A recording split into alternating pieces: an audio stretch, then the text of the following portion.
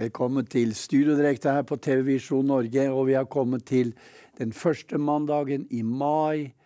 Og eh, vi synger jo 'Kom mai, du skjønne milde'. Og eh, et annet ordtak det er eh, eh, regn og kulde. Det er også godt for bonden, faktisk. Eh, I hvert fall ikke varmt, drivende vær, men mye regn. Og jeg er sikker på det at eh, alle troende bønder som tror på Gud, de har begynt nå å be om regn. Og vi tror på at det skal komme regn for eh, markens grøde utover denne måneden. Det er så flott at vi kan ha fire årstider, dere, her i Norge. Vi opplever disse sterke overgangene, i hvert fall eh, eh mer eller mindre. Eh, vår, sommer, høst og vinter. Så vi er så takknemlige, vi er privilegert som har fått lov å vokse opp her i, i Norge, i Skandinavia. Og um, vi lever i en urolig verden. Og vi ber for denne situasjonen som denne verden er oppe i, og nå Europa.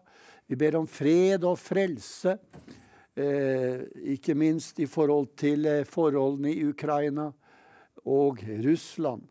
Men her i kveld så skal jeg ha flere gjester med meg. Noen i studio, men også flere på videosamtale, som vi sier. Eh, den første gjesten i kveld i fysisk her i studio, det er Carl Georg Rongstad. Han er godt kjent her på Visjon Norge, og vi skal eh, eh samtale med han. Og du som ikke veit så veldig mye om han, du skal få vite mer om Carl Georg i kveld. Han skal for øvrig dele Guds ord Eh, ganske straks. Men de neste gjestene her i eh, den siste delen av andre time, det er Svein og Miriam, Miriam Linseth, som også skal ta hånd om bønnens time, som da blir den tredje timen her i kveld. Men tre videosamtaler først ut. Det er Bjarte Ystebø i løpet av den første halvtimen. Eh, jeg skal stille han flere aktuelle spørsmål i forhold til hva som eh, mange tenker på akkurat nå. Og så skal vi samtale med en flott bror fra Bergen, han også. Tony Andreasson. Han skal eh, snakke om noe som skal skje i pinsehelgen i Bergen og Vestlandshallen og, og i Forum. Så det blir Veldig spennende å høre hva Tony har å si. Eh, han eh, litt ut i andre timen, og i, i, så enda litt lenger ut i andre timen så eh, skal vi snakke litt med Randi Filtvedt Johansen. Hun skal opp sammen med sin søster Unni Frestad til Hallingskarvet denne helgen, og vi skal høre om hva som skjer der. Og um, det blir også Veldig fint. Og Randi har sikkert også et ord og en hilsen til deg eh, rett fra sitt hjerte, som eh, skal være med som en oppmuntring og styrke for deg i kveld. Så eh, da er det bare for meg å uh, si det på denne måten at nå får vi musikk. Jonny og Regina Edvardsen synger for oss nå før Carl Georg Rongstad deler Guds ord så er jeg glad for at jeg kan få stå her i studio direkte med den boka som har betydd så uendelig mye for meg. Som har vært en lykt for min fot og et lys på min sti. Om du kjenner meg, så vet du at jeg hver dag på Facebook legger ut noen tanker og et bibelvers. Og det har jeg også gjort i dag. Og da jeg satt hjemme, jeg har en sånn liten god stund med min frelser og herre på morgenen, da talte Den hellige ånd til meg. Og jeg har lyst til å dele med deg det ordet som eh, jeg la ut på Facebook eh, også i dag eh, på formiddagen. Det står i Romerbrevet, i kapittel 5, og det femte og det sjette verset. Der står det Og håpet gjør ikke til skamme, for Guds kjærlighet er blitt utøst i våre hjerter ved Den hellige ånd som ble gitt oss. For da vi ennå var skrøpelige, døde Kristus til fastsatt tid for de ugudelige. Og så tenkte jeg der jeg satt Jeg hadde faktisk litt lyst til å snu på det litt. eh, Bibelen var jo ikke skrevet med vers eh, og kapitler sånn som vi leser den i dag. Den er jo gjort, det er gjort slik for at vi lettere skal kunne finne fram i den. Men jeg tror jeg sier litt om det sjette verset først. For mens vi ennå var skrøpelige, døde Kristus til fastsatt tid for ugudelige. Og sånn er det. Gjennom Adams ulydighet kom synden inn i verden. Og vi ble syndere. Og så sier du kanskje ja, men jeg kjenner meg ikke som en synder. Men Paulus han skriver klart og tydelig at alle har syndet og fattes Guds ære. Men på tross av at vi er, var syndere, så hadde Gud en frelsesplan. Og den frelsesplanen den innbefattet at Jesus skulle komme hit til jorda, dø på et kors, stå opp igjen og, bli, og åpne en vei inn til fellesskap med Gud igjen. Og Det var det jeg nettopp siterte her. For da vi ennå var skrøpelige For egentlig så var vi jo skrøpelige når vi var uten Gud og uten håp i verden. Vi hadde jo gjennom Adams ulydighet kommet bort ifra Gud og det underfulle fellesskapet som Adam og Eva egentlig var skapt i. Men som sagt, Gud hadde en frelsesplan, og den gikk gjennom Jesus Kristus. Guds egen sønn ga avkall på det himmelske, står det. Han ble fattig for at vi gjennom hans fattigdom skulle bli rike. Og Derfor er jeg så lykkelig og glad for at jeg kan stå her og si at jeg er rik. Jeg er blitt rik. Ikke har jeg mye penger på banken, det er ikke det det går på, men jeg har fått et liv som er fantastisk. Og jeg har også ikke bare fått et rikt liv. Da kan vi gå til det femte verset som sier Men håpet gjør ikke til skamme, for Guds kjærlighet er blitt utøst i, vårt, i våre hjerter ved Den hellige ånd som ble oss gitt. Ikke bare at Jesus døde og oppsto, vår synd og sonet vår sykdom, men han gav oss også sin ånd. Den ånd som leder oss og hjelper oss hver dag. Og gjennom den ånden som eh, Faderen gav oss, så har vi også fått håp. Så når jeg står her i studio direkte i kveld, så har jeg både fremtid og håp. Og det er nettopp fordi at eh, Jesus Kristus døde for meg som synder til fastsatt tid. Så jeg kunne ikke med mine egne gjerninger på noen måte få fellesskap med Gud igjen. Men Gud elsket meg så høyt, kan du tenke deg.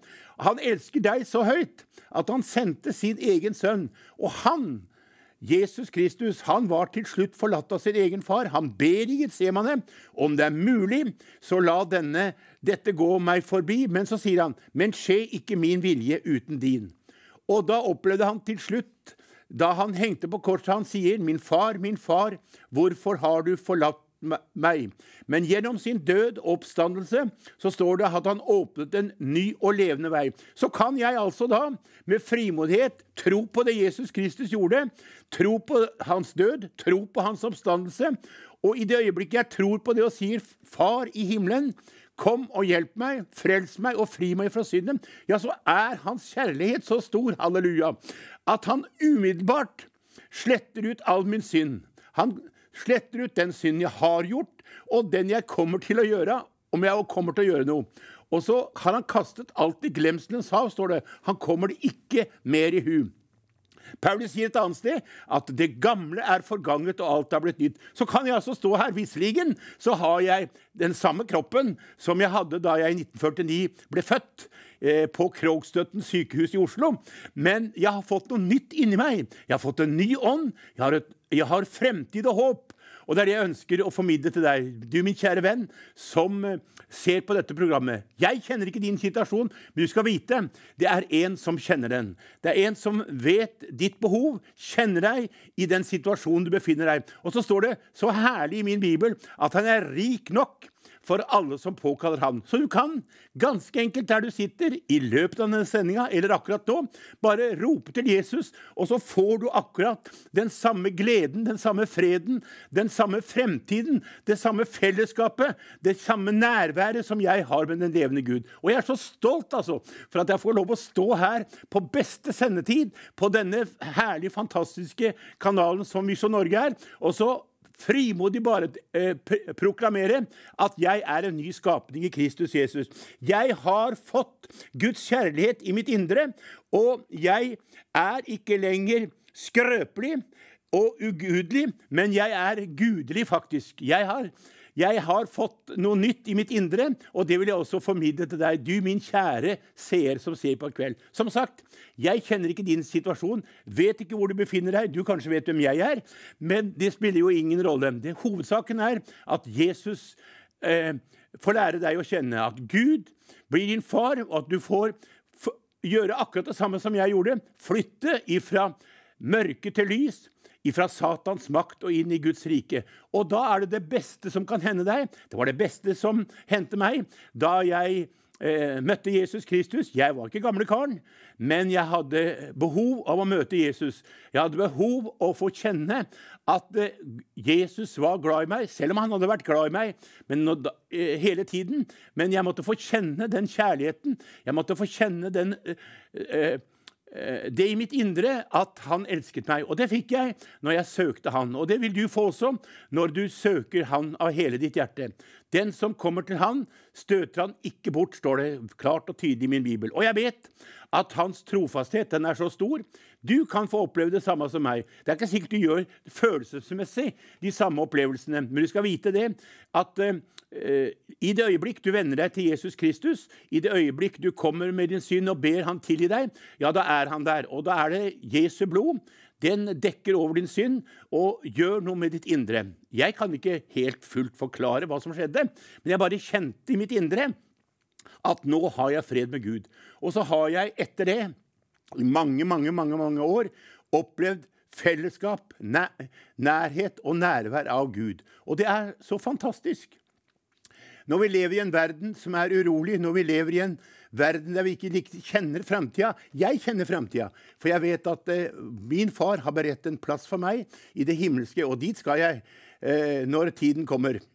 Men mens jeg er her, så ønsker jeg å formidle et ord ifra Herren til deg. Jeg ønsker å formidle det glade budskapet som kan sette din sjel fri, som kan løse dine bånd, som kan gjøre at situasjonen som du befinner deg i, blir helt forvandlet. Ikke for at jeg er noe spesielt, men for at Jesus Kristus elsker deg.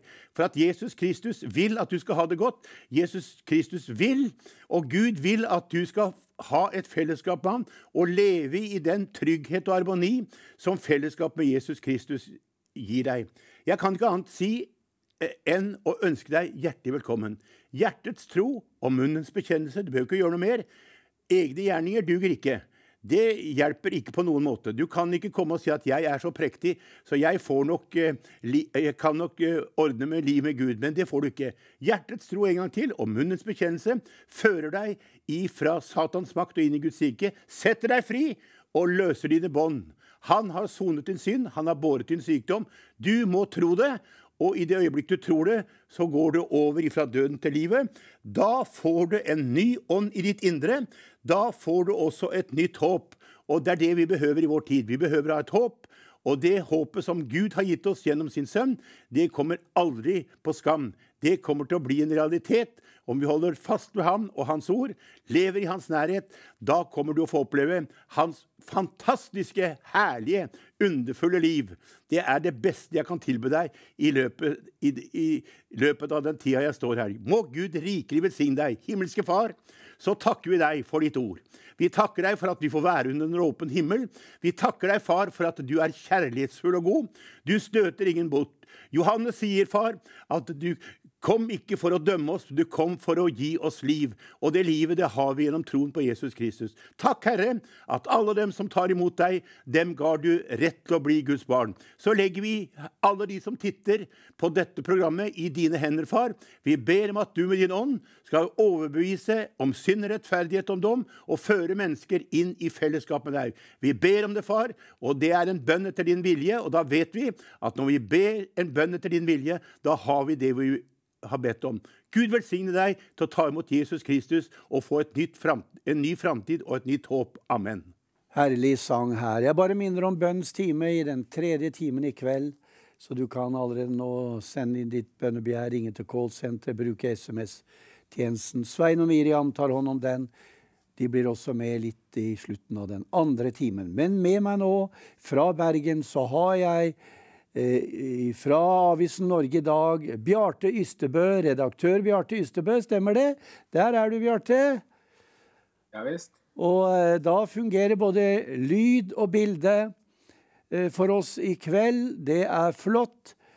Og eh, du er jo opptatt av det som skjer i samfunnet vårt rundt oss, både eh, her i Norge, men langt utover det, Bjarte. Og jeg har jo tenkt å stille deg noen spørsmål. Eh, litt forskjellige art av spørsmål. Og det første, det er Ja, vi har en Støre-regjering, og jeg kan si mye om den. Men det er jo det er jo et eh, parti her som eh, virkelig har eh, måttet betalt en sjelden høy pris for å være i regjering så langt, og det er nemlig Senterpartiet. Eh, Bjarte Ystebø, hva vil du si om det? Det henger jo sammen med de forventningene de har skapt. Eh, og eh, så kommer virkeligheten i regjering, og så klarer ikke de levere. Og da vil jo velgerne straffe Eh, fordi at eh, velgerne hadde grunn til å ha forventning til at de skulle få eh, en bedre hverdag. Og så blir de selvfølgelig straffet for det som har å gjøre med den internasjonale situasjonen. Og så går det rett inn i velgergruppene til Senterpartiet. Folk som bor i distriktet, kjører mye bil. Folk som driver landbruk. Og har veldig økte kostnader som følge av verdenssituasjonen. Eh, og så eh, ser folk at eh, staten Norge håver inn penger både på strøm og på eh, petroleumsvirksomhet. Eh, men det kommer ikke oss eh, der hjemme til gode. I hvert fall ikke på en sånn måte som, som, som folk har forventning om. Så dette handler om brutte forventninger i forhold til det som de har lovet velgerne. Men det er jo flere partier i denne regjeringen, riktignok bare to, men det er et stort et også, nemlig Arbeiderpartiet. Eh, eh, Tenker du ikke at det er slik at Arbeiderpartiet på en måte holder Senterpartiet liksom eh, i eh, sjakk, liksom? Altså vil ha kontroll på dem i forhold til hva de får lov å spille ut? Definitivt. Det er helt klart. Det er ikke enkelt å være minsteparti i en regjering. Eh, så det er selvfølgelig en del av dynamikken at Arbeiderpartiet er størst og sterkest og bestemmer. Men likevel eh, så er det påfallende å se forskjellene på Trygve Slagsvold Vedum i dag og den eh, joviale gladgutten som reiste rundt i, i, valgkampen og lovet gull og grønne skoger, og hadde veldig mye kritikk til overs til alle sine politiske rivaler. Nå må han jo ansvarliggjøres for den økonomien eh, som Norge har, og for den politikken som føres, og for fraværet av eh, levering på, på politiske valgløfter. Mm. Så det er selvfølgelig regjeringsslitasje. Men det er jo så påfallende hvor stort fallet til Senterpartiet har vært.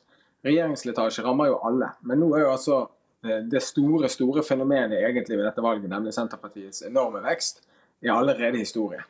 Eh, og Det var ingen overraskelse, egentlig. De fleste var enige om at, eh, at Senterpartiet vil være nede på ensifret like over jul i 2022. Og nå har det skjedd, men nå har det gått enda lenger ned.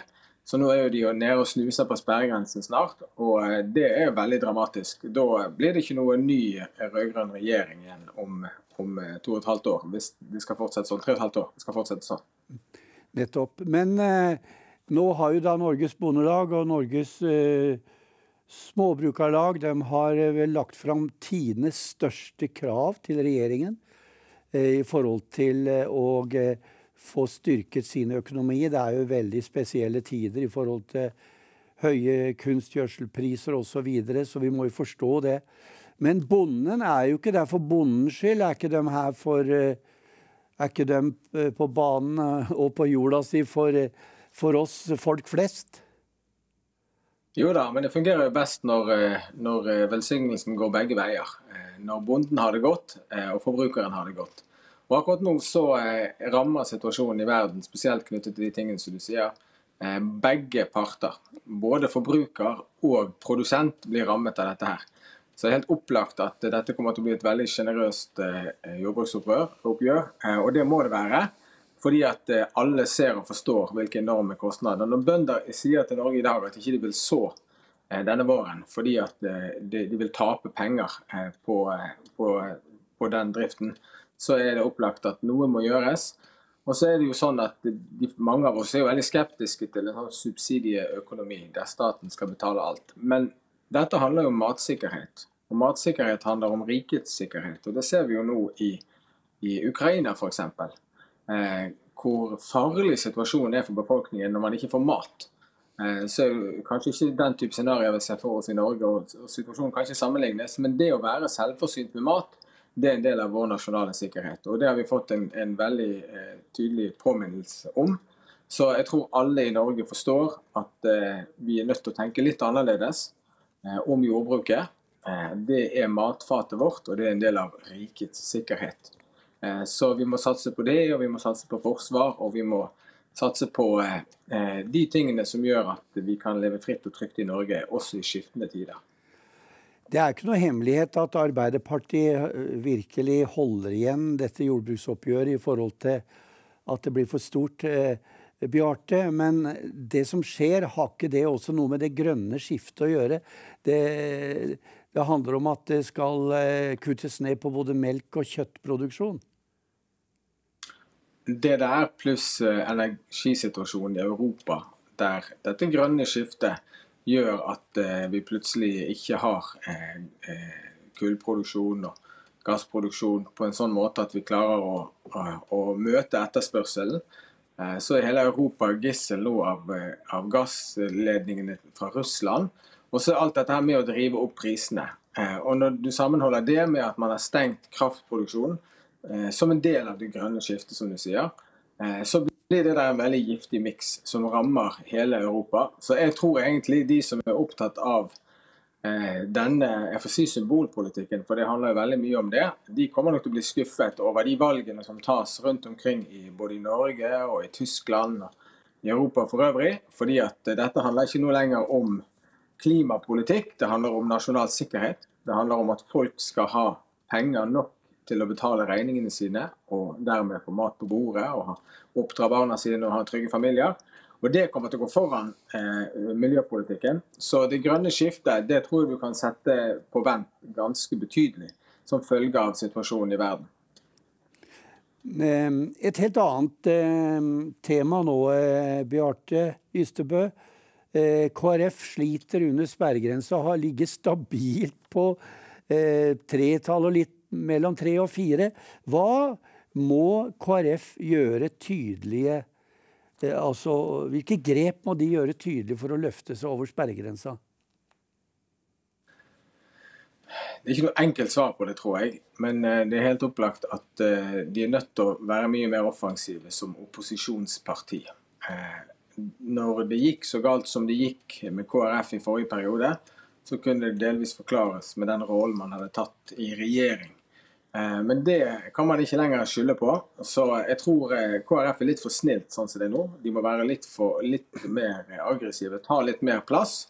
Eh, og selvfølgelig så forventer folk at KrF er patent på de kristne verdisakene. Ellers så kommer jo det til å gå med KrF som med Senterpartiet, at kjernevelgerne blir skuffet.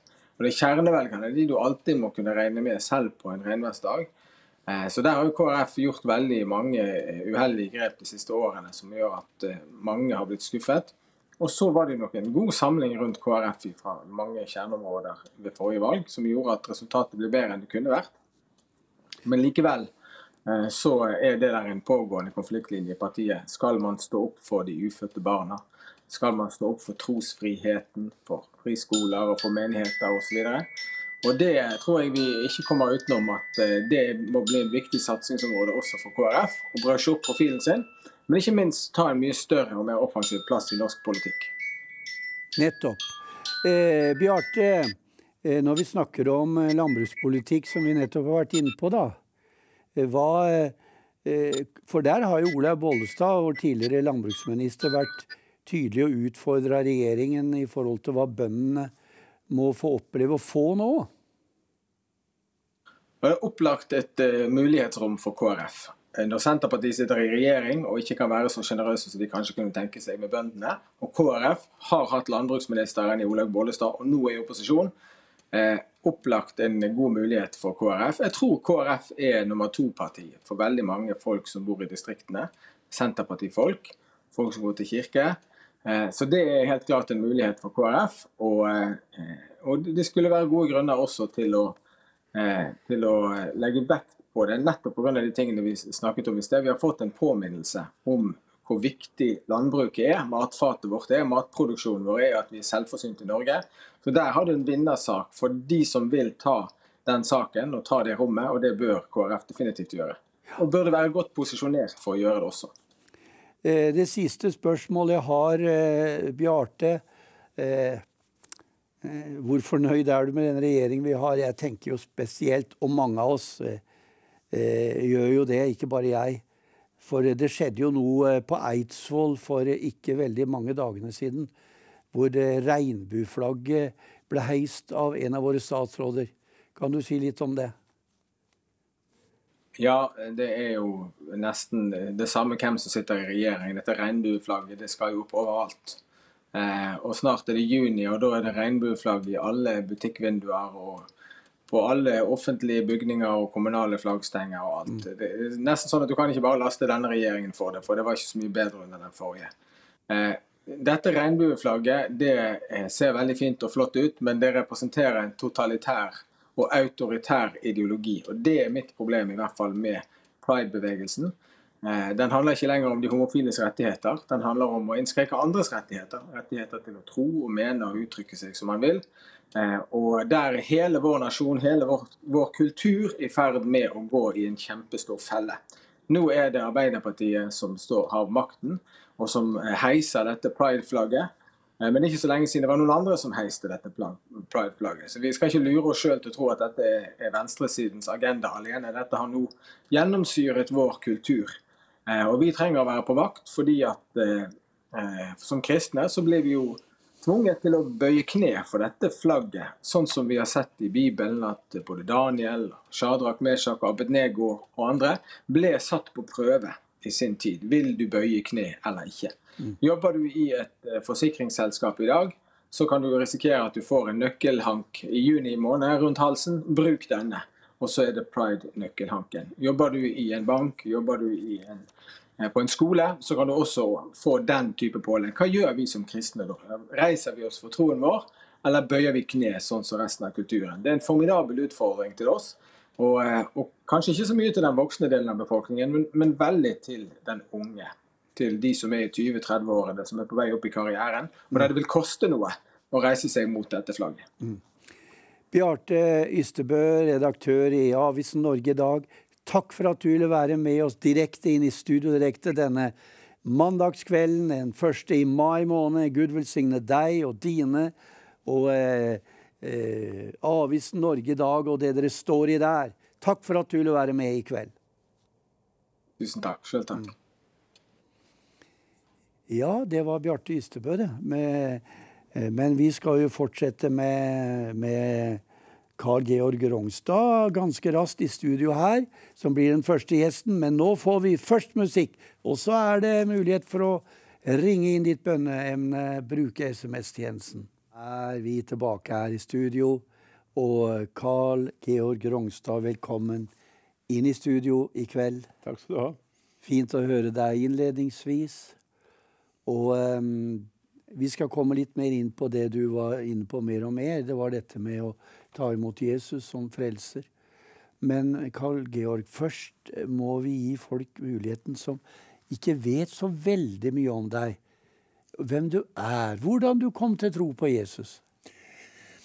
Ja, jeg er jo oppvokst da uh, i et uh, kristent hjem.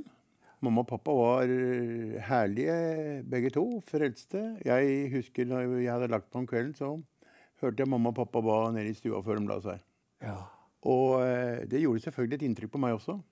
For jeg merket meg iblant, eh, når jeg ikke hadde sovna, hva de ba om. Og så merket jeg meg også at de noen dager etterpå takka Gud for at de hadde fått bønnesvar. Ja. Og så gikk jeg jo på søndagsskolen til jeg, til jeg nesten eh, det tok sertifikat, tror jeg. Fordi at ja. mamma, mamma, og pappa var søndagsskolelærere. Eh, men jeg hadde vel en veldig behov av, følte jeg, å, å bli, få den troen som mamma og pappa hadde. Så jeg eh, kom da Var jo fast med som møte eh, Med på møtet fra jeg var ja, opp gjennom åra. Det var jo Betel, pinsemeden Betel Stovner, det. Eh, Topp. Der er det lokalet som farfar, morfar hadde bygd. Mm. Og det var morfar som preka det møtet, og jeg husker spesielt eh, hva han preka om. og Jesu Guds sønns blod renser deg fra all synd. Amen. Og det hadde jeg behov av i det møtet. Ja. Så da gikk jeg fram, og da var det jo eh, gamle tider, kan man si. Da var det knefall og tårer. Gammel var du da, sa du? ja, det var i 1958. Da var jeg i ni år, da. Ja. Tenk på det. Da var jeg ni år. Og da, da kjente jeg det at jeg eh, fikk noe av fred, den himmelske freden i mitt indre. Det gjorde jeg. Og så gikk jeg jo eh, noen år da på, på møter der oppe på Betel, men lengta veldig. Å, jeg lengta så fælt. Å, jeg lengta. Og så gikk jeg da var jeg lesebarn av Philadelphia Oslo med Daniel Strøm og David Østby som lærere. Ja. Og vi var ganske mange, faktisk. Vi var over 70. Oi. Så det var en stor gruppe. Og eh, jeg fikk jo et spesielt forhold til David Østby. da. Fordi at en av de siste gangene som eh, vi hadde undervisning, da kom han til meg og så sa han, Du kjære venn, husk på å ta vare på det kallet Gud har gitt deg. Og da, da rykka jeg litt til. Ja. Og så ble jeg åndsdøpt først, faktisk. Jeg ble åndsdøpt på et møte med Åge Samuelsen oppe i Nittedalen. På ettermiddagen. Åge sa at nå skal alle dem som lengter etter åndsdøpt, komme fram. Og jeg var litt sta av meg da, det kan hende jeg er nå også, egentlig. Men jeg sa til Gud at om du vil døpe meg i Den hellige ånd, så kan du gjøre meg den her jeg sitter. Og så hadde jeg da hatt eh, en helt slekt på mammas side som når de kom under Guds kraft, så oppførte de seg iblant i mine øyne på de merkeligste måter. så jeg hadde bestemt meg for at jeg vil ikke få Den hellige ånd sånn som mormor. Nei. Det vil jeg ikke. Og det fikk jeg ikke heller, så Gud er jo sjenerøs egentlig, da. Fordi at jeg ble døpt i Den hellige ånd mellom min mor og øh, mormor. Eh, veldig stille og rolig. Eh, der jeg satt, jeg kjente bare at jeg begynte å ta det i tunger. Veldig, ikke høytlytt engang. Det bare bobla inni meg. Gammel var du da? Ja, det var i nitt... Det var jeg, da var jeg vel tolv, tenker jeg. Ja. Så døpte jeg meg Nei, det må, kunne jeg ikke ha vært. Jo, det tenker jeg. jeg var, nei, jeg må ha vært mer.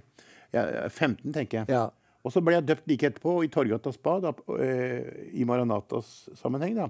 Og så begynte jeg å gå litt i Maranata. Da. Eh, Mamma og pappa forsto jo det at eh, Betel Stovner det var ikke plassen for en tenåring. Så jeg fikk lov å kjøre med tog da. fra Lørenskog stasjon og inn til Oslo for å gå på Philadelphia. Men jeg lurte dem jo litt der, jeg får erkjenne det. Nå hører du meg ikke for meg hjemme hos Jesus.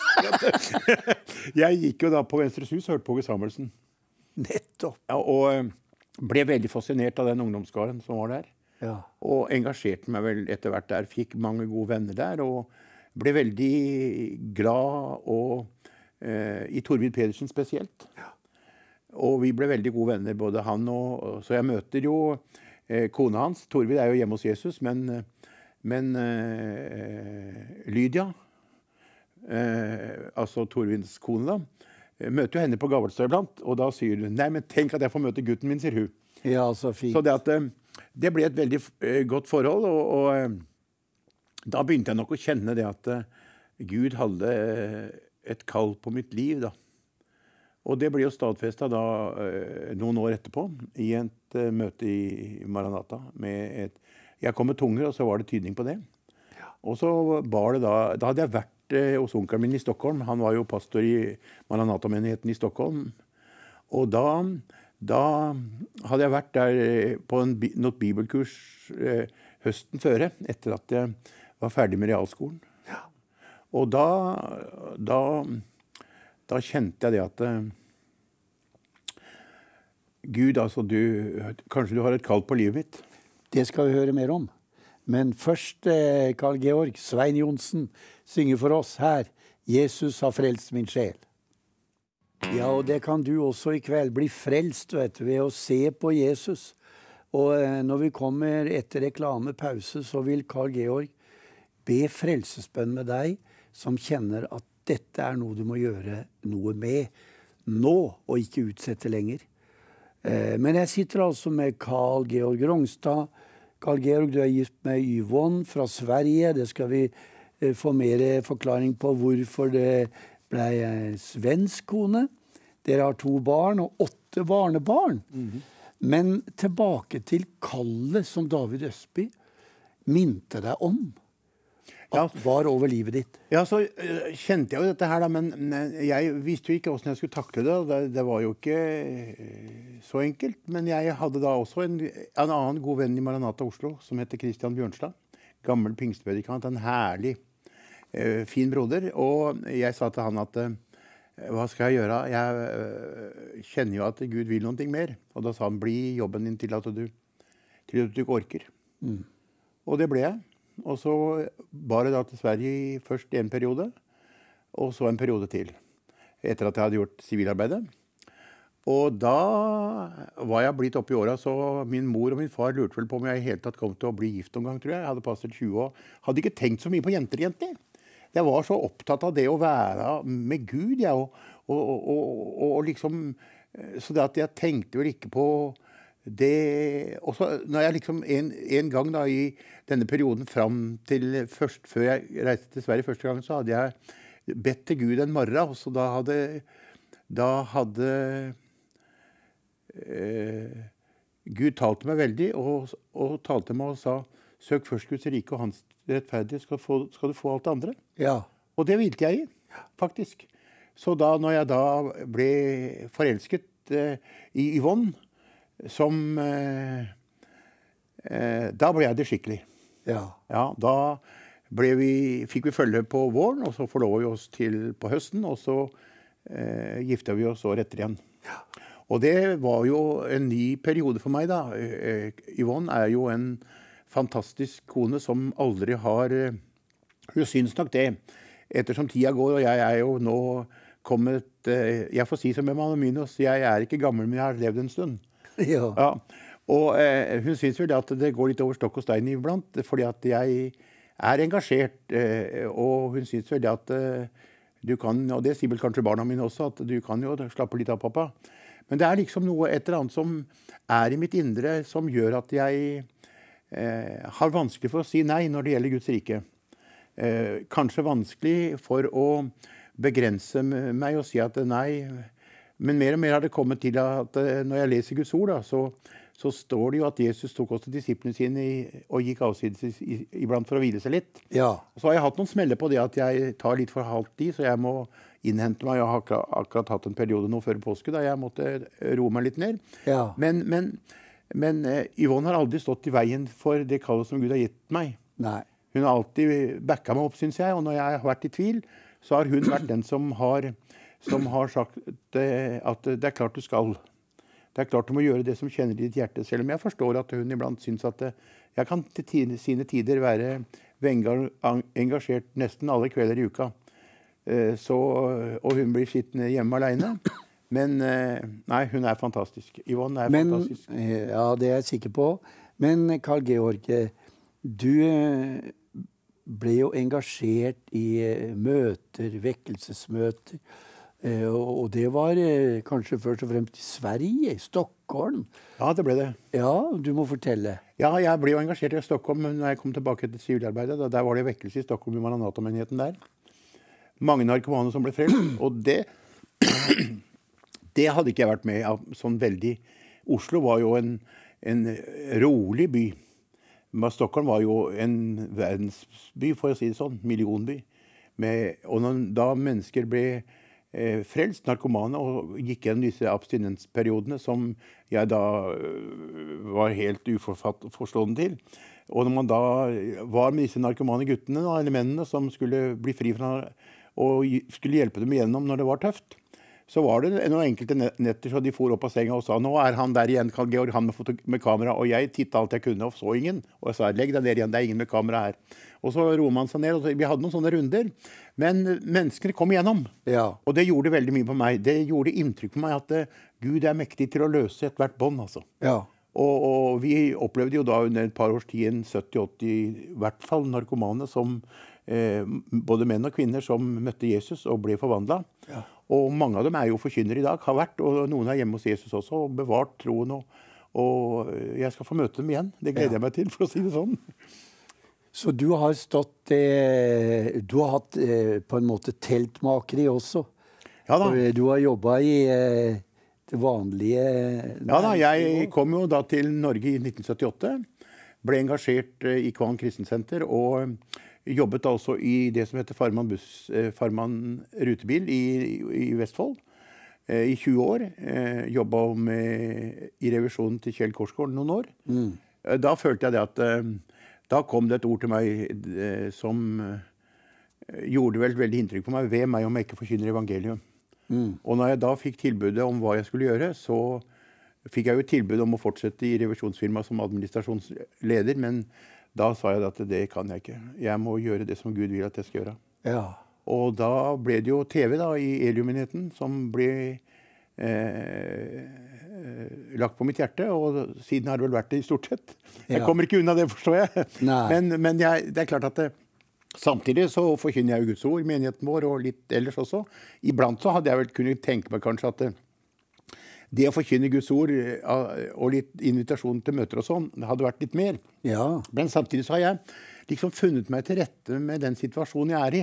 Og så har jeg sagt at, eh,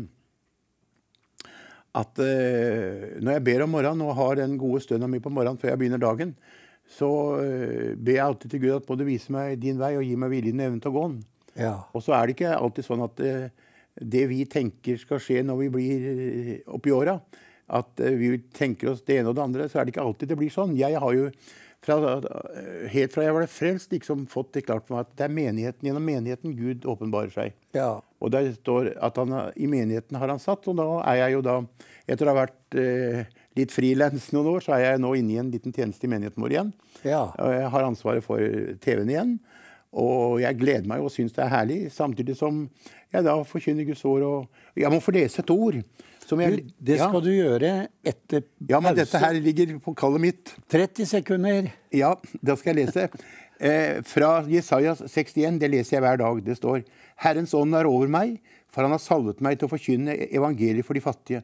Han har sendt meg for å forbinde dem som har et sønderbrutt hjerte, for å rope ut frihet for de fangne, for å sette de bundne fri, for å utrope et nådens år fra Herren og en hevnens dag for vår Gud, for å trøste de sørgende.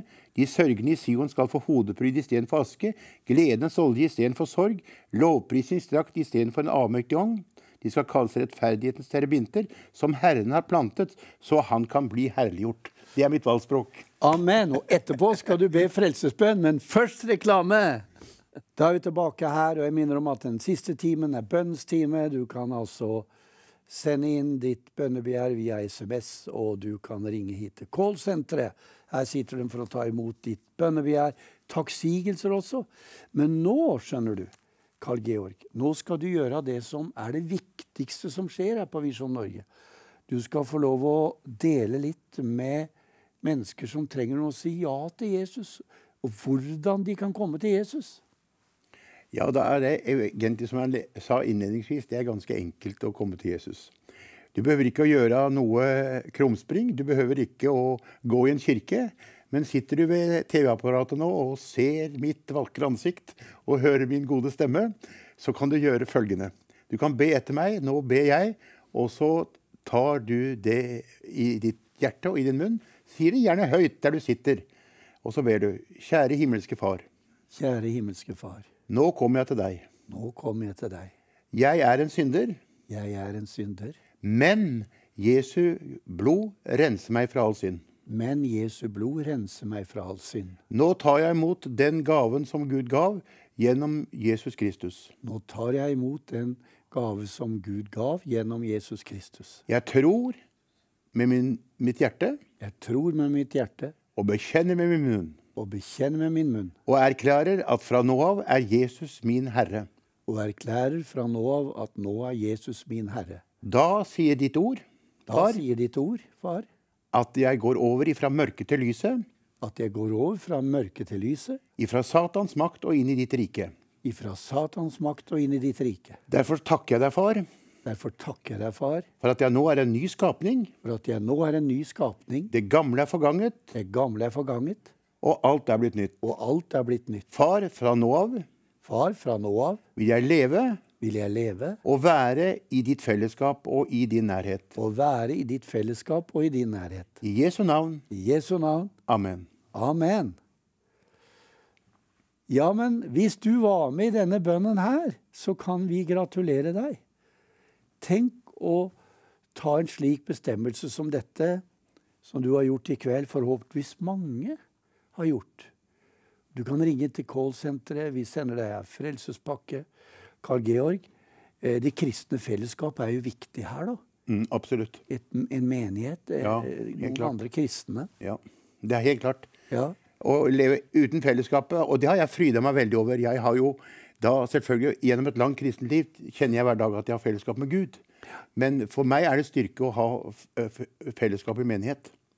Ha brødre og søstre som jeg kan med tillit få uh, snakke med om det er ting som butter. Det hender jo det. Ja. At det er ting som blir vanskelig, ting som blir tøffe. Men da kan jeg snakke med far om det, altså min himmelske. Og så kan jeg snakke med en bror som, eller flere brødre som jeg har tillit til. Og så kan vi hjelpe hverandre. Og det er det som er styrken i menigheten. Det er jo det at uh, man skal ha åpenhet og vise hverandre omsorg og kjærlighet. Så For- det, ja, det vil jeg si at eh, Har du nå hørt eh, og bedt frelsesbønn sammen med meg, så søk opp en menighet eh, i eh, ditt nærmiljø. Og skulle du ikke ha noen menighet i eh, ditt nærmiljø, så kan du eh, gå inn Om du har Facebook, kan du gå inn på Facebook og søke på Carl Georg Rongstad og sende en melding til meg, så skal jeg hjelpe deg videre og hjelpe deg å finne en menighet. ja og, og så er det veldig bra at vi har TV Visjon Norge, da. Helt klart. For de som bor ute i distriktene og sånn. Ja, jeg må fortelle. Eh, For en tid tilbake så fikk vi en eh, brev straks før pandemien kom. Et brev fra en broder som hadde sett eh, en av våre sendinger på Visjon Norge. Jeg fikk brevet fra vår administrative leder og tok kontakt. Hadde kontakt med han under en periode. Og, men eh, da han ble grepet av evangeliets budskap, så satte eh, slektningene hans seg imot. De trodde han var blitt gæren. Fikk en psykiater til å hjelpe seg, sperra han inn på et psykiatrisk sykehus. Eh, Da de forsto at han hadde kontakt med meg gjennom mobiltelefonen sin, så tok de mobiltelefonen hans også, Oi. så han fikk ikke noe kontakt. Og så i perioder under hele pandemien så har jeg munnet på han iblant. Ja. Bedt for han. Og så nå, her om kvelden, eh, så I forrige uke, tror jeg det var, så, så ble jeg plutselig Når jeg satt nede og så på TV-en, så tenkte jeg hvordan har den broderen det i dag? Og så like etterpå så fikk jeg en melding på telefonen. Hei, Karl Georg. Hvordan står det til? Og jeg kvakk litt, og så, og så, og så tok jeg kontakt med han. Og så sendte han, fortalte jeg at jeg hadde tenkt på han, og så sendte han en melding til meg like etterpå. sa han, Nå har jeg det bra. Ja, så fint. Jeg har fått jobb. Jeg har fått bil. Jeg har fått eh, Jeg går visserlig på medisiner, men Og det var en lørdag. Og i morgen skal jeg på gudstjeneste. Og nå har vi kontakt hver eneste dag. Og han Ja. er herlig. Ja, men så fint. Ja. Men, men Carl Georg, det er noe jeg sitter og tenker på. Eh, de som forhåpentligvis var med i denne frelsesbønnen Mm. Det er noe som heter djevelen som vil ta ifra deg det som er sådd. Ja, det er det. Og, og liksom si ja, var dette bare av deg sjøl, dette vel? Ja, det, det, det, det, utsettes vi eh, for noen iblant. Men Ja. de, eh, om vi holder oss fast til Guds ord Ja. Begynn å lese Bibelen. Begynn å lese eh, Johannes evangelien, den frelsespakka du får fra Visjon Norge. Ta tak i den, det som er der. Og bruk telefonen, og ring til Visjon Norge om det blir tøft. Og Ja. der får du hjelp til å, til, å, til å komme videre. For husk, tyven kommer bare for å stjele, myrde og ødelegge. Men Jesus han vil komme for å gi deg liv. Så bare hold fast på den bestemmelsen du var med på gjennom frelsesbønnen. Eh, nå er vi på tampen eh, i kveld, eh, Carl Georg. Vi skulle hatt så mye mer tid. For hvis vi hadde snakka om de siste 20 åra nå, fått mye tid til det, så har jo du vært kobla på denne TV-stasjonen også. Ja da, helt nesten fra starten har jeg vært med her. Ja. Eh, I periode, altså, det var vel noe som eh, tok tak i meg da når jeg møtte Jan Hanvold første gangen. Mm. Jeg kjente han ikke, men vi satt og spiste lunsj sammen hos en eh, felles venn nede i Holmestrand. Og så så han plutselig på meg. Og Jan kan jo være litt streng i blikket, da. Og jeg var jo litt usikker på hvem Jan Hanvold var, og så plutselig så ser han på meg og så sier han Akkurat som David Østby hadde sagt. Da ser han på meg og sier han, ta vare på de kallet ditt da, broder, sa han.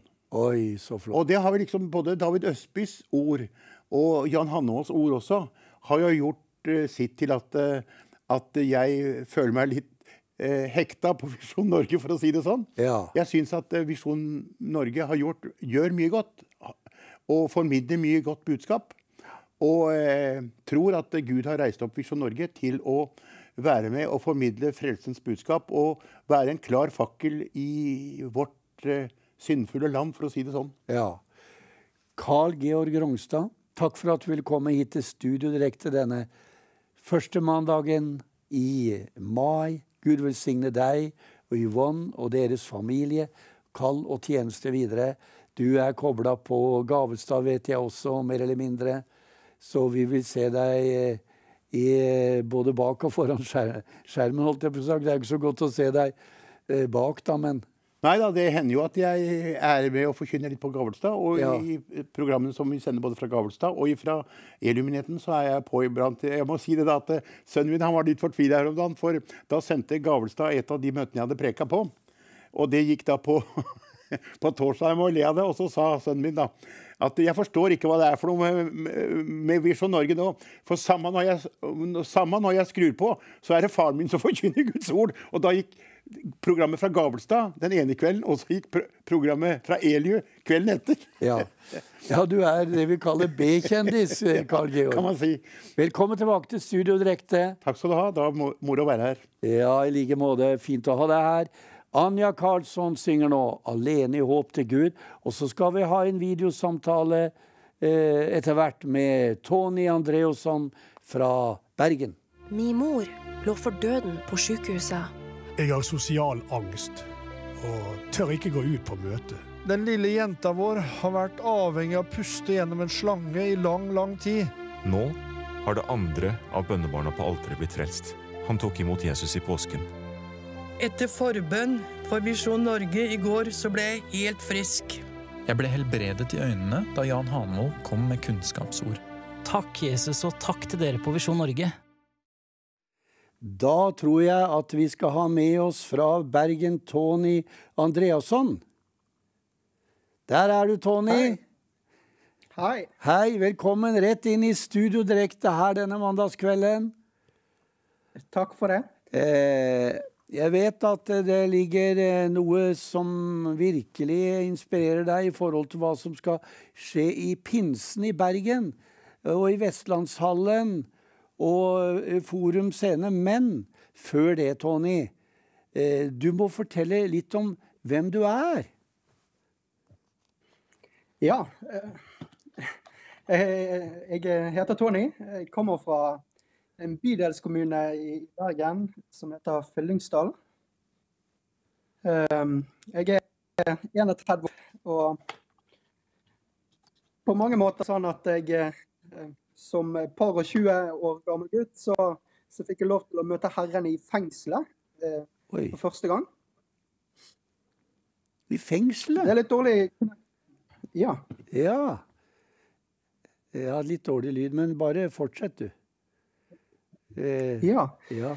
Eh, mye av barndommen min har vært preget av eh, Dessverre av familier familie med mye utfordringer, med, med både rus og eh, mye eh, som på en måte ødelagte mye av barndommen min. Eh, Mm. På mange måter så falt jeg inn i, i samme retning av mitt eget liv. Ja. Men eh, Herren har leda deg, og nå står du eh, i, eh, i noe flott sikkert, det forstår jeg. Hvilken menighet, kirke, er du kobla på? Mm. Eh, jeg tilhører Betel Bergen, eh, misjonskirken Betel, Ja, eh, som ligger midt i Bergen sentrum. nettopp. Men, eh, men eh, Tony, pinsen i Bergen, den blir helt spesiell. Fortell. Ja, jeg begynte i, i november. Nå i år så, så var jeg hjemme hos en kamerat eh, som er er bestekameraten min, men han er også pastoren min. Um, hvor vi satt egentlig og snakket litt om menighet og litt om Betel Bergen og hva som foregår der.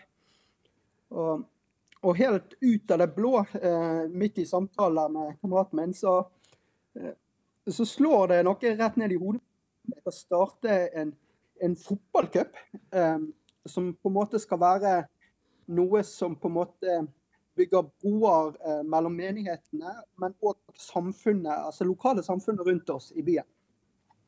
Ja. Og så eh, har vi dette helt konkrete som skal skje nå i forbindelse med pinsen. Ja. Det var jo sånn at når jeg eh, begynte å sette i gang med liksom, å, å, gå på det Gud hadde gitt meg, liksom, så, så, så, tenkte jeg litt Gud, kan du, kan du bruke en fotballcup? Det er liksom litt sånn litt utradisjonelt på mange måter. Eh, men jeg har liksom lest altså, hva, hva kan vi som menighet her i Bergen eh, gjøre for å bety en forskjell for, for lokalsamfunnet vårt? Altså Hvordan kan vi på en måte bringe Eh, Guds menighet inn mot verden, eh, og, og, samtidig kunne være et visjonsmarked og et misjonsmarked. Eh, og ingenting er det vel som samler mennesker mer enn fotball. På, på, tross av forskjellige kulturer, på tross av forskjellige religioner ja, og, og, ståsteder i, i, verden. Ja. Og ja, vi har, vi har, grei lyd, men det er litt, bildet er litt eh, fryst noen ganger, men vi får bare leve med det akkurat nå. For eh, dette er noe som skal skje, og det er for hele familien. Og her skal også pastorene stille med eget fotballag. Og. Ja. Um, jeg vil jo ikke bare kalle det en fotballcup, jeg vil jo kalle det eh, en familiefest og en pinsefest. Og hvordan kan liksom vi kalle det en pinsefest, når egentlig pinsen handler om Den hellige ånd. Eh, først og fremst så handler jo eh, Guds menighet om, om et fellesskap og en familie. Vi er en familie i, i Guds rike. Um, og I pinsehelgen så har vi da valgt um, Og alle menighetene uh, i Bergen by er, er koblet på nå. Så fredagen og lørdagen i pinsen så samles vi da til en er en stor fotballcup. Samtidig så har vi valgt å, å leie inn mange hoppeslott som vi skal ha i, i, i Vestlandshallen. og det er fordi at rundt om i byen vår så er det veldig mange etter korona, midt i koronatiden, så er det veldig mange familier som sliter med økonomien. Det er veldig mange familier som på, på, tross av eh, alle disse tingene her, så er det veldig mange familier som ikke får mye tid til eh, foreldre og barn seg imellom i, i hverdagen. Eh, så i Vestlandshallen fredagen og lørdag så blir det fri inngang i Vestlandshallen, så alle familier i hele Bergen får gratis inngang til å komme og være med på fotballcup, grilling og hopping, rett og slett. Ja, og Må man melde seg på her, eller? Ja, kan, det går, inn, går, an å inn på Facebook. Så står det da fotballcup og lovsangsfest som skal skje i Forum scene eh, på lørdagskvelden. Eh, hvor eh, Saltmenigheten i Bergen har eh, valgt å åpne dørene for, for Jesuscup, Fotballcupen heter. Ja. Eh, så vi skal eh, komme sammen der til en Hvis man går inn på den eventen på Facebook, finner man påmelding. Ja.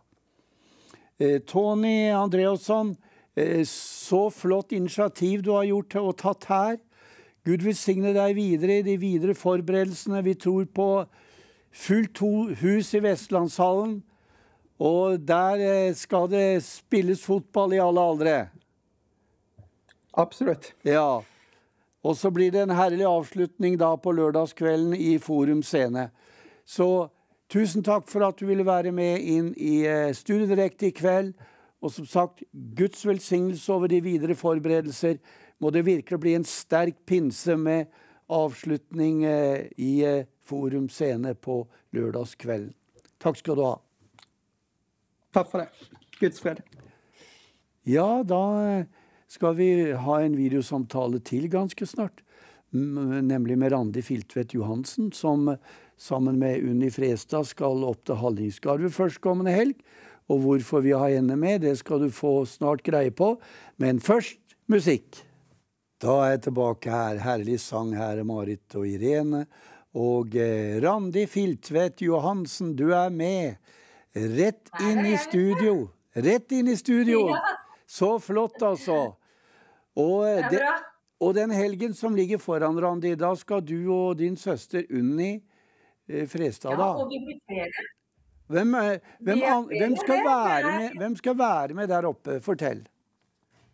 Ja, det er jo Unni Fredstad, da. Og så er det ei som heter Anne Kristin Andresen.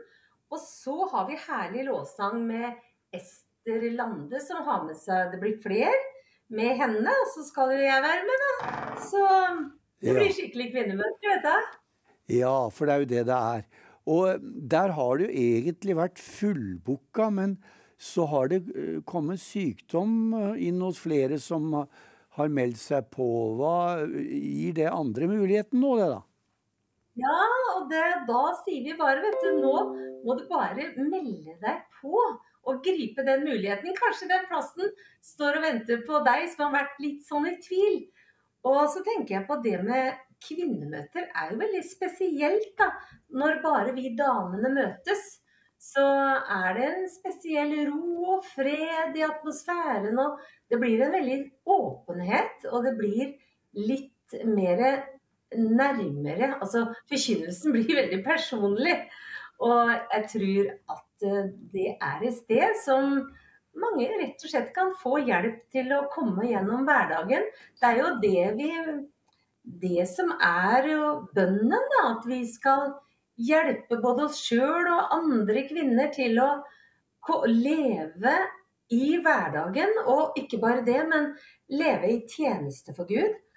Og jeg tenker på at eh, egentlig så er det jo Herren sjøl som har funnet opp det med kvinnemøter. For eh, når Den hellige ånd kom over Maria, og den høyestes kraft overskygga henne, og hun blei unnfanget ved Den hellige ånd, så var det ikke nok for henne bare med et englebesøk.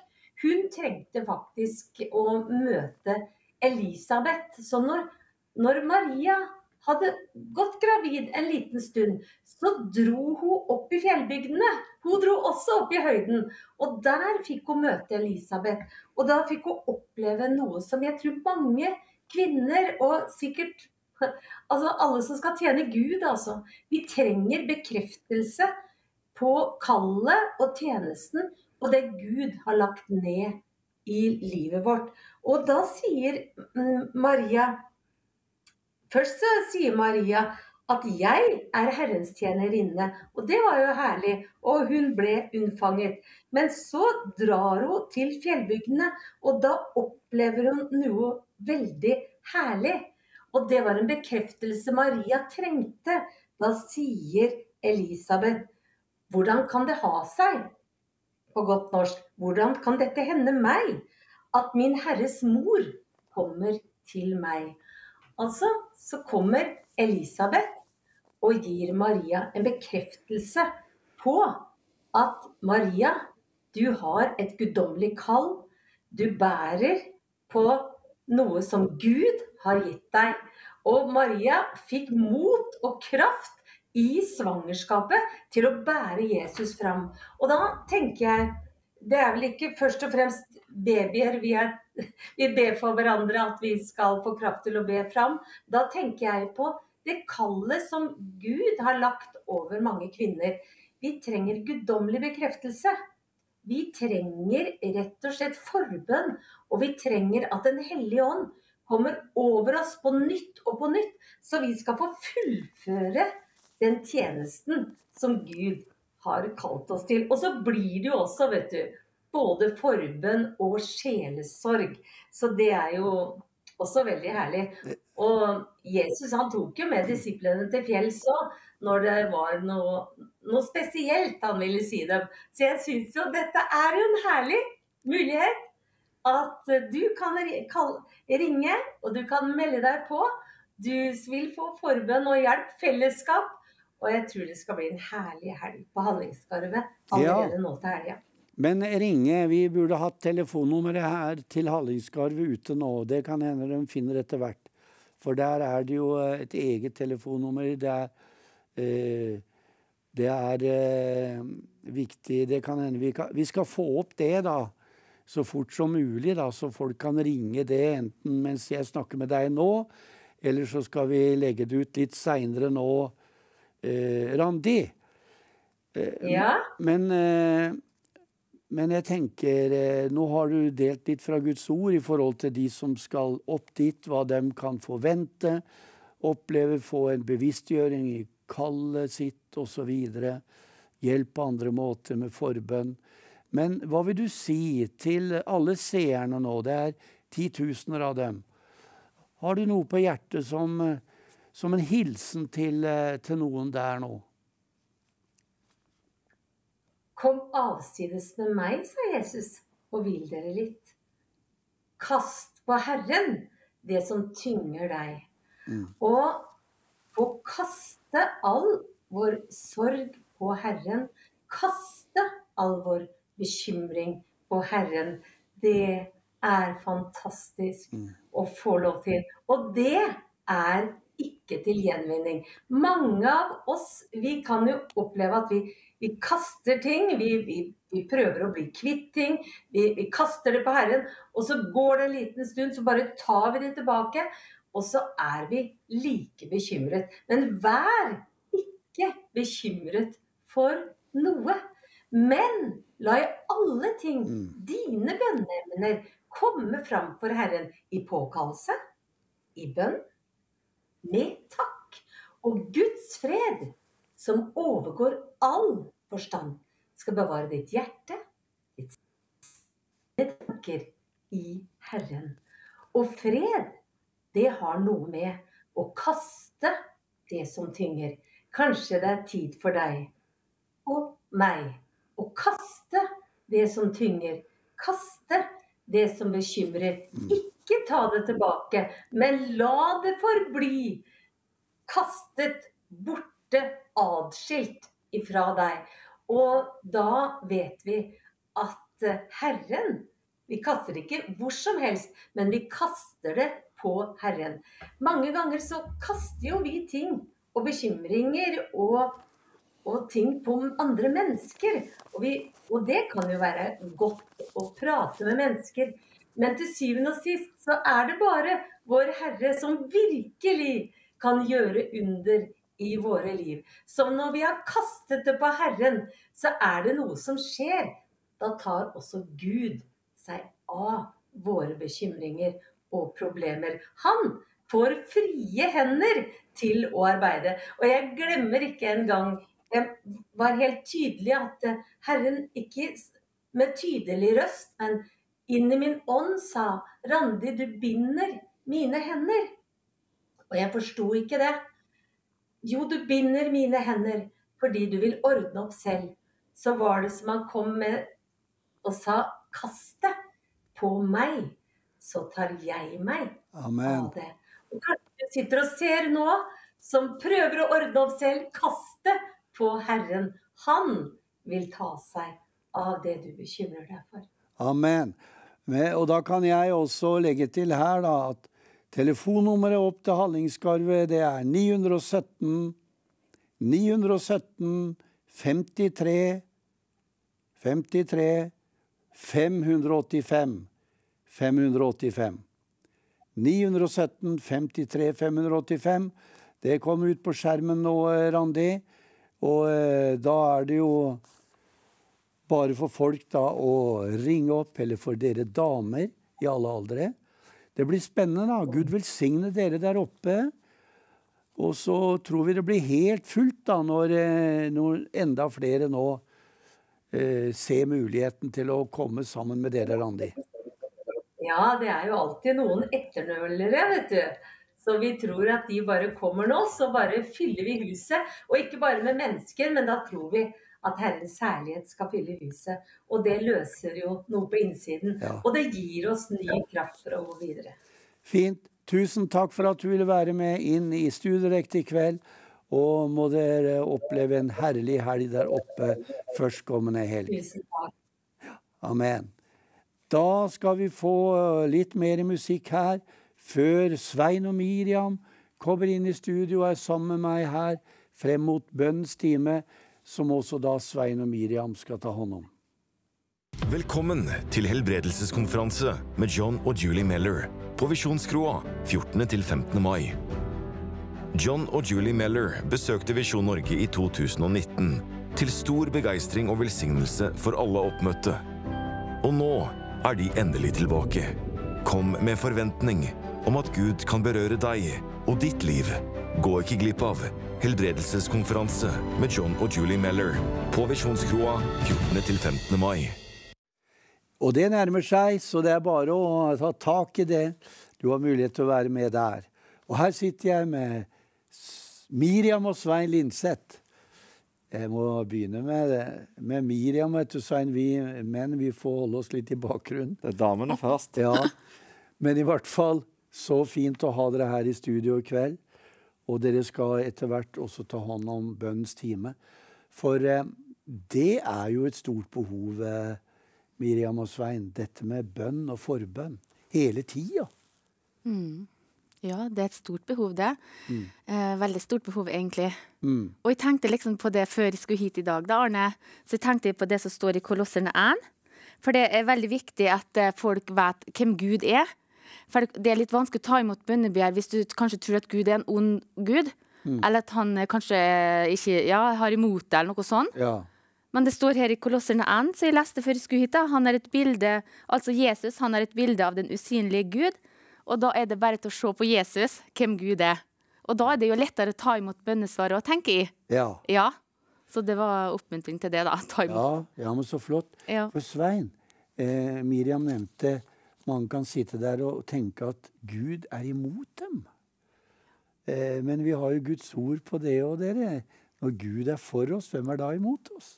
Han som ikke sparte sin egen sønn, men gav, oss, gav ham for oss alle. Men allikevel, da, så er det sånn at folk kan sitte inn, igjen i noe eh, nederlag, eh, mange ting i livet sitt. Nei, det er ikke håp for meg. Ja, det er klart at når vi får inn et bønnebegjær, så de er jo av ulike karakter eh, i forhold til type sykdom. Men det er klart, Arne, at eh, det er ikke godt å mangle noe, verken eh, om det er mye eller stort. Så vi har en veldig nød for disse menneskene. Mm. Og det er klart at vi får av og til spørsmål hvor er Gud oppi min situasjon? For vi ser han ikke, vi kjenner ikke på noe bønnesvar, vi syns det er vanskelig å be, og, og alt dette av tankekjør og, og på en måte meninger som kommer opp, og som en kanskje òg taler ut. Men Gud finnes, og vi skal ikke på en måte slippe tak i bønnens ånd. Og dette med helbredelse òg, det er jo en veldig viktig del av frelsesverket som skjedde på Golgata. Ja. Så vi har tro på at det er legedom ved Jesus år. Ja. Amen. Eh, fordi at eh, eh, det er helt sikkert sånn for eh, mange som føler kanskje sendingen i kveld også, at eh, jeg har vært så mange ganger innenfor Gud med det som er vanskelig for meg. Det kan være familieforhold, eh, det kan være relasjoner. Ja, det kan være så mye. Men, men det gjelder å ikke gi opp, Miriam. Ja, det gjør det. Det er ikke å gi opp, også bare tro på at, bare se at Gud er kjærlighet, vet du. Mm. Så han ønsker jo godt for sine barn. Han ønsker jo godt for alle mennesker, han. Så når vi vet det, og ikke gir opp, men eh, begynner å takke, det tror jeg er i hvert fall viktig, da. Å takke og bare Ja, så tror jeg det kommer også. Ja. Ja. Ja, for jeg tror, som Miriam sier, at det ligger et gjennombrudd i det å takke. Vi vet at når Jesus helbreder ti spedalske, så helbreder han de ti. Men Guds ord sier at det var bare én som kom tilbake for å takke. Og da sier Jesus, hvor ble det så av de ni? Så det er klart at, eh, at eh, det er veldig viktig å løfte fram bønnesvaret. Og når vi har bedt eh, troens bønn, for det står at troens bønn skal reise den syke eller hjelpe den syke Når vi har bedt troens bønn, så er det veldig viktig at vi går over i det å takke for bønnesvaret. At det skal manifestere seg. At vi er åpne og mottagelige for Guds berøring over våre liv. For Bibelen sier jo det klart også at Jesus han kom ikke for de friske, men han kom for de syke. Ja, det er sant. Altså de som kjenner at jeg har syk, syk her kan jo bety veldig mye, ikke sant? Ja. Selvfølgelig syk i kroppen, men, men også omstendigheter og forhold. Ja, det er sant, det. Ja. Og sår i sjela, indre Ja. sår, og opplevd ting som er smertefullt. Og du ble skadd, rett og slett. Og Ja. Jesus han, han vi ønsker jo å helbrede til ånd, sjel og kropp på alle Mm. områder. da. Ja. Nå øh, tror vi at det kommer en del bønneemner inn hele tiden her. Over callsenteret også. Folk kan jo bare ringe inn. Men øh, mens jeg har dere her nå, da, Miriam og Svein, så vil jeg, jeg vil bare spørre deg, Miriam. Vil du, vil du bare be en bønn ut fra ditt hjerte nå? For mennesker som følger sendingen her, som skal få en berøring gjennom den. Ja. Kjære far. Å Gud, jeg takker for din omsorg nå, Jesus. Jeg bare ber Jesus for dem som sitter der nå, Jesus, og virkelig trenger det i kveld, Herre Jesus. Jeg ber om at du skal berøre dem i kveld, Jesus. Å Jesus, jeg ber virkelig om at de skal få kjenne din godhet, Herre. Jeg ber om at de skal få smake og kjenne at du virkelig er god, Herre Far. Jeg ber om at du skal berøre mennesker denne kvelden her, Jesus. På dypet, Herre, på, i deres indre, Far, til ånd, sjel og kropp. Det ber jeg om, far, i Jesu navn. Amen. Og jeg takker for at du fjerner sorg, og far, dem som kanskje har sittet fast i sorg i mange år, kanskje, og dem som nylig har fått oppleve sorg, Herre, ber om at du skal berøre dem og Jesus og trøste, Herre. Amen. Amen. Ja, Vi nærmer oss bønnens time, men eh, Miriam og Svein blir enda med litt her i denne settingen. Eh, vi skal eh, få en sang nå av Bent Harald og Bjørnar Berntsen. De synger 'Høgt på et berg'. Så ringer du inn ditt bønnebegjær eller bruker SMS-tjenesten. Så er vi snart tilbake her. Ja, eh, her sang Bent Harald og Bjørnar 'Vi behøver alle deg'. Eh, spesielt jeg, sier de. Men Svein og Miriam, vi lever jo en spesiell tid. Og folk er engstelige. Og eh, vi må vel tro også at folk kanskje tenker mer på Gud enn de har gjort. Ja, det er rart her, altså. Men det står jo noe sånn i Bibelen òg, at han førte dem ut i trengsel for at de skulle på en måte finne Gud, da. Ja. Det er ofte, ofte det er sånn. Ja. Ja. Ja, jeg tenker på når du snakker om folk er engstelige. Det er veldig mange det bærer bønnebegjær òg preg av, som er opptatt av at det sine skal bli frelst. Og det er klart det, Arne, at eh, når vi har folk i familie nært innpå oss, eh, og, og mennesker som vi kjenner godt, som ennå lever utenfor, så, så ligger det på oss. Og vi skal, eh, folk må bare følge med i bønnens time, for vi skal gjøre noe helt spesielt i kveld når det gjelder bønnebarn. Ja. Så Herren talte om tidlig i, i dag tidlig. eh, Amen. Eh, og, og det er klart at eh, bønnebarna ligger oss veldig på hjertet. Eh, og det er det som er så fint, Arne, at vi kan stå med de som sender inn, og har sendt inn navn på sine. Ja. For vi, vi kan ikke be for alle disse alene, men vi kan gi bønnestøtte. Og vi kan løfte opp sant? Vi kan løfte opp hverandre sine bønnebarn, deres bønnebarn og dere der ute sine bønnebarn. Og så er det gjensidig. sant? Når vi ber for bønnebarn, så er alle disse menneskene eh, i denne gruppa av bønnebegjær. Ja. Det er, eh, det er sterkt, og det er godt å bli bedt for.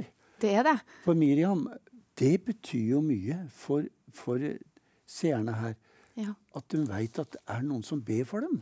Ja, og så er det mange som sitter med store byrder. De har sånn nød for sine. Mm. Og tenk hva godt det gjør for dem å vite at vi i Visjon Norge blant annet da, står med og gir dem bønnestøtte. Ja.